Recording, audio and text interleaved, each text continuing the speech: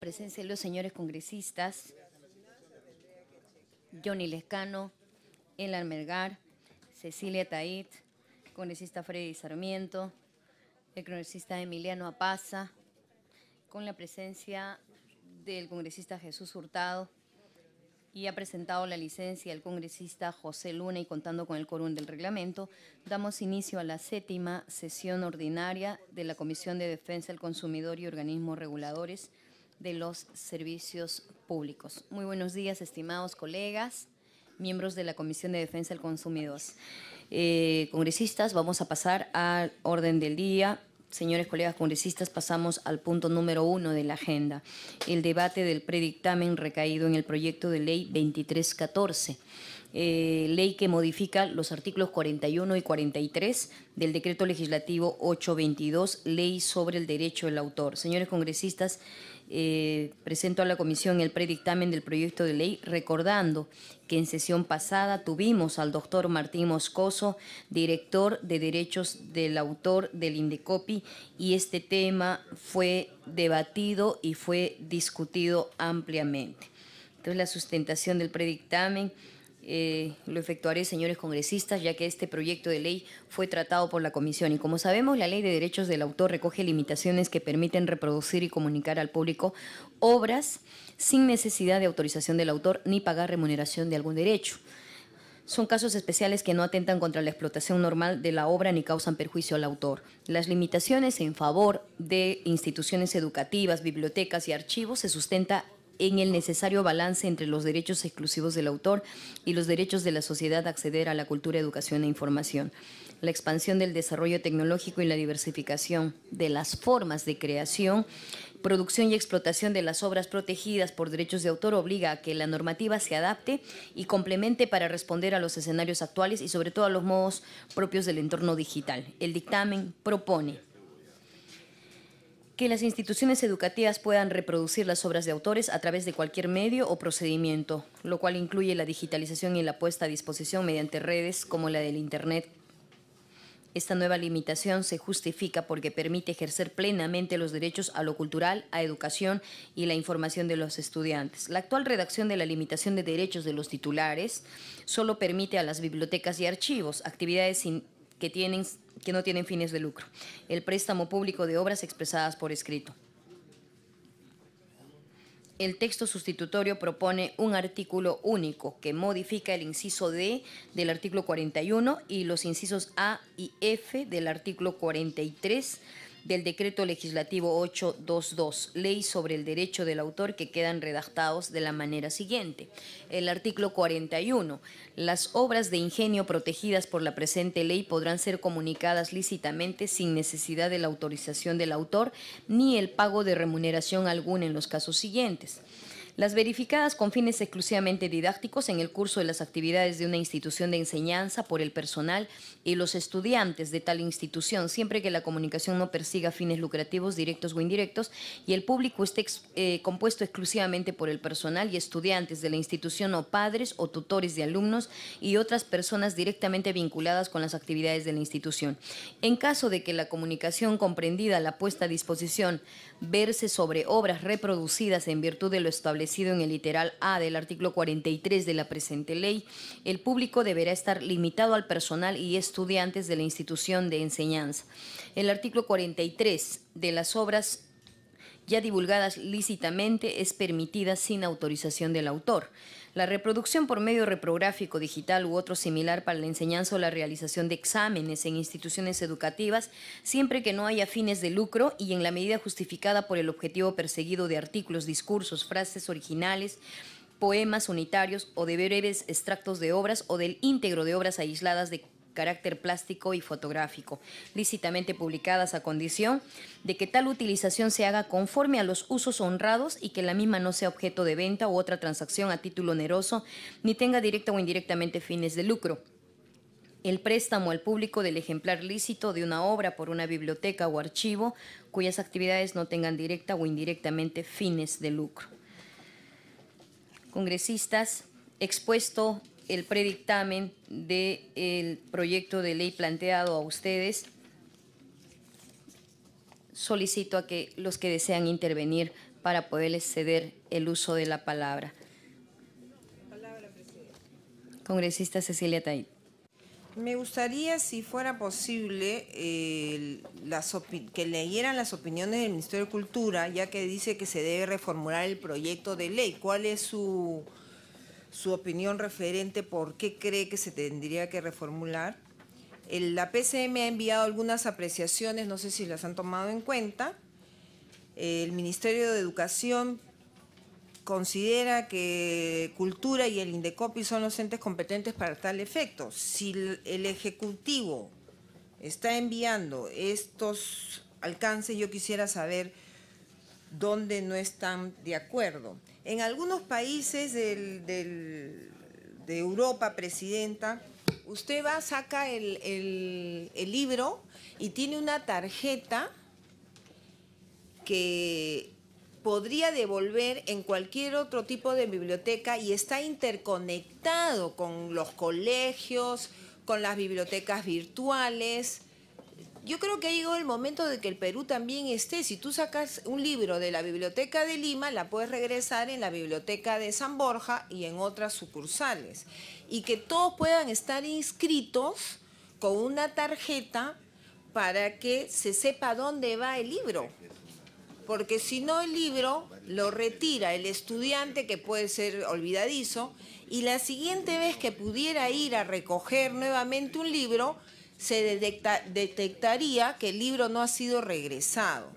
Entonces, de todas maneras, yo quisiera tener las opiniones versadas de estos ministerios y, y no es muy claro el préstamo gratuito al público de ejemplares de toda clase de obras. Cuál es el, cómo se va a regir la supervisión, cómo le van a devolver, no sé si se va a ver en el reglamento o no, pero yo lo, dejo ahí, Presidenta. Gracias. Muchas gracias, congresista Cecilia Taid. Efectivamente, eh, la petición planteada por usted sobre la respuesta del Ministerio de Cultura es sobre el particular tenemos la firma del viceministro de Patrimonio Cultural Rafael Barón, en el cual manifiesta de que debemos indicar que el proyecto de ley 2314 se busca ampliar los límites al derecho de explotación de los derechos de autor establecidos en el Decreto Legislativo 822, Ley sobre el Derecho del Autor. Al respecto, es necesario precisar que dichos límites y o excepciones por su naturaleza restrictiva deben ser planteados claramente de manera taxativa, en la medida que ampliar indeterminadamente dichos límites y o excepciones afectarían directamente al derecho de explotación de los derechos patrimoniales del autor. Respecto a la modificación del inciso A del artículo 43 del mismo dispositivo legal, se elimina la precisión de que la reproducción autorizada debe ser la reprográfica, como está planteado en el predictamen, por lo que resulta necesario precisar si la reproducción podrá realizarse a nivel reprográfico, digital u otro similar. en conclusión, eh, nosotros hemos... Eh, se manifiesta de que este despacho sugiere reformular el presente proyecto de ley respecto a las observaciones que se plantean y precisamente en función a ello se ha, mm, se ha reformulado con la presencia del, responsable de derechos del autor de la institución Indecopi y también con el proponente que hemos estado en la sesión pasada en, en dicha comisión. Eh, lo propio usted solicita dar la lectura de el Ministerio de Educación y en el oficio enviado a la comisión plantean lo siguiente como conclusión. De lo señalado se desprende que el Ministerio de Educación saluda toda propuesta que busque contribuir con una educación de calidad y que beneficie a los estudiantes. No obstante, se considera que no constituye el órgano competente para emitir opinión sobre el particular, que son el Ministerio de Cultura y el INDECOPI los entes competentes para tal efecto. Eso sería congresista. Hemos eh, recibido a ellos, hemos recibido las cartas, hemos considerado todas las opiniones y por tal motivo hemos, em, hemos recibido en la sesión pasada tanto al proponente como también, como plantea en el oficio, al eh, responsable de derechos del autor del Indecopi, con el cual ha quedado también modificado y se han hecho las correcciones necesarias. Lo propio también se ha recibido de la PCM como conclusiones que consideramos que el nuevo supuesto planteado para la modificación del inciso C del artículo 41 Decreto Legislativo 822 Ley sobre el Derecho de Autor no constituye afectación de derecho alguno en la medida que cumplan con las condiciones señaladas en el párrafo 10 del presente documento. Hemos recibido opiniones favorables, congresista. En tal sentido también solicito alguna algún congresista que desee intervenir sobre este proyecto de ley. Congresista Jaime Delgado, damos la bienvenida. Tiene la palabra, congresista Jaime Delgado. Muchas gracias, Presidenta. Estamos frente a un proyecto que, como se ha mencionado en las anteriores sesiones donde ha sido discutido ampliamente, es una excepción a, los derechos de autor. Eh, los derechos de autor eh, sobre obras eh, literarias, por ejemplo, en este caso, contemplan el derecho de la exclusividad, es decir, solo con la autorización del autor se pueden eh, divulgar y previo pago de derechos eh, obras que correspondan a su creación. Sin embargo, esta eh, propuesta del congresista Tejada y que está en coherencia con lo que en este momento está siendo ya discutido a nivel internacional, tal como nos mencionó representante del INDECOPI en las instancias internacionales, que es la Organización Mundial de la Propiedad Intelectual, es generar algunas nuevas excepciones al uso de estas obras sin eh, pago de los derechos correspondientes. Cuando estos tengan que ver con fines estrictamente educativos, porque obviamente en un colegio, en una universidad, donde el profesor utiliza citas, donde utiliza algunas ideas precisas que están puestas eh, por los autores que pueden tener un derecho vigente, porque recordemos que los derechos de autor duran 70 años luego de su muerte, hasta luego de su muerte. O sea, son sumamente extensos en, los periodos, en, en el plazo. Pero eh, si el uso de estas obras, no en su integridad, sino como, como, citas, como mensajes, como conceptos, eh, digamos, estuviera sujeto al pago de, derechos, esto puede de algún modo entorpecer el proceso pedagógico normal que se desarrolla en los centros educativos. Por eso lo que se está planteando es que hay una excepción. Y esta excepción en la práctica se da, o sea, en la práctica tanto universidades como colegios utilizan citas y este tipo de materiales digamos, eh, sin, pago de derechos de autor, pero podrían estar sujetos, digamos, a una, a una denuncia, a una persecución. Y en la medida que no haya un afán lucrativo, porque claro, esto es importante precisarlo, ¿no? porque tampoco se pretende que de pronto en un colegio ya se, van se va a usar los libros de Mario Vargas Llosa, pero el propio colegio reproduce 300 ejemplares del libro y baratito nomás, obviamente se le está perjudicando a Mario Vargas Llosa, eso, eso no es correcto, eso es piratería. Entonces, tampoco no se quiere llegar a esa, situación. O sea, la ley es clara en el sentido de que por excepción, digamos, cuando se utilicen este tipo de materiales sin fines de lucro, o sea, y en el mismo sentido cuando se trata de la, el préstamo en las, eh, en las bibliotecas. En ese sentido, eh, Presidenta, y tomando en consideración que Indecopi ha expresado su conformidad y es el organismo técnico competente que además eh, forma parte de lo que es la Organización Mundial de la Propiedad Intelectual, donde se nos ha mencionado que están siendo ya discutidas una reforma a nivel global sobre estas excepciones, digamos, para dar mayores facilidades a los usuarios, este, considero que es eh, atinada la propuesta. Muchas gracias. Muy bien, congresista Jaime Delgado. Eh, congresista Cecilia Taí. Presidente, en vista de lo ya lo que ha dicho el congresista Delgado que comparto, en el artículo 43 yo tendré un aporte, porque muchos eh, especialistas prestan un libro técnicos y normalmente usan el libro para su investigación, pero no citan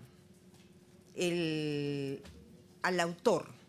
Entonces, en el inciso A yo pondría de la siguiente manera, si pudieran tomar mi, aporte, lícitamente publicadas a condición de que tal utilización sea conforme a los usos honrados, cita obligatoria del autor. porque muchos toman su lo, lo investigado por el autor, pero no lo citan. Entonces prácticamente es algo, digamos, pirateado, ¿no? El que ha investigado durante años se ha quemado las pestañas, pero no lo cita el que ha, hecho uso de su libro. Entonces, mi aporte sería que se ponga que es obligatorio quien toma prestado el, el libro y hace uso la investigación del autor lo cite obligatoriamente. Gracias, presidente. Se acepta el añadido de la congresista Cecilia Taid para considerar a los usos honrados y la cita obligatoria del autor, de modo que precise en eh, como pie de página o la presencia o la existencia de un autor. Votamos, señores congresistas, la aprobación eh, del predictamen recaído en el proyecto de ley 2314, ley que modifica el decreto legislativo 822 sobre derecho del autor. Los que estén a favor, sírvanse levantar la mano sobre este proyecto con señal los votos. Congresista Jaime Delgado, a favor. Congresista Rubén Condori, a favor. Congresista Johnny Lescano, a favor. Congresista El Almergar, a favor. Congresista Cecilia Taid, a favor. Congresista Emiliano Apaza, a favor. Se ha aprobado por unanimidad el predictamen del proyecto 2314 sobre la ley de derecho del autor. Congresistas, nos vamos a dirigir al punto 2 de acuerdo al trabajo para el día de hoy.